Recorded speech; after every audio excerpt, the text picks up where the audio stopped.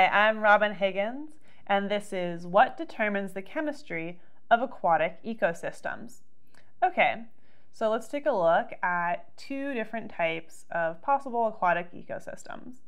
Um, first, up here, I've drawn just a freshwater ecosystem. So basically, um, these are going to be your lakes, your ponds, some of your rivers, anything dripping off of snow.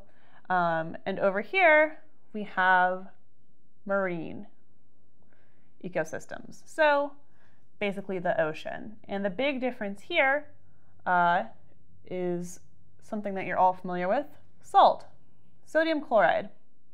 So the big difference is that freshwater does not have high concentrations of salt and marine has extremely high concentrations of salt. So actually, of all the things dissolved in the oceans, 85% of them is just sodium chloride. So there's a ton of salt in the ocean. And this is really what's going to drive this system, is dealing with this salt, utilizing it, and, uh, you know, seeing what kind of chemistry we can do with the salt.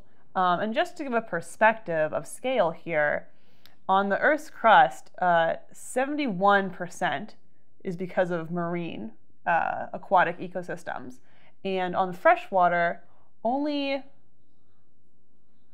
0.8% of the planet's surface is freshwater systems. So there's a ton more marine. We got a lot more salty water than freshwater.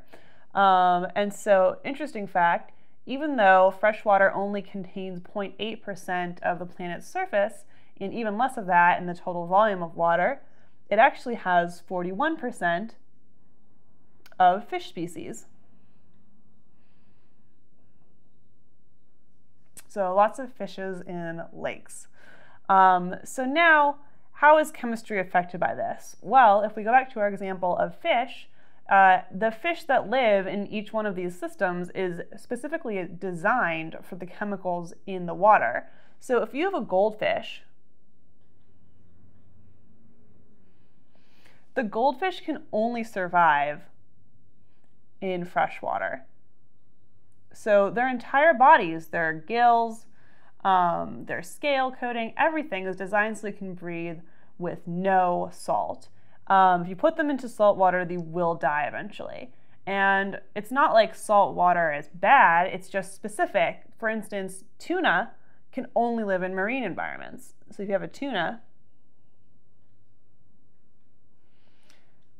if you take it and put it in a lake, it will also eventually die.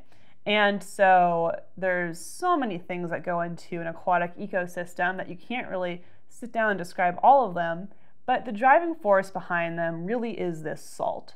So everything that's going to be affected by the ecosystem is affected by this salt or lack of salt. I'm Robin Higgins, and this is How is the Chemistry of Aquatic Ecosystems Decided?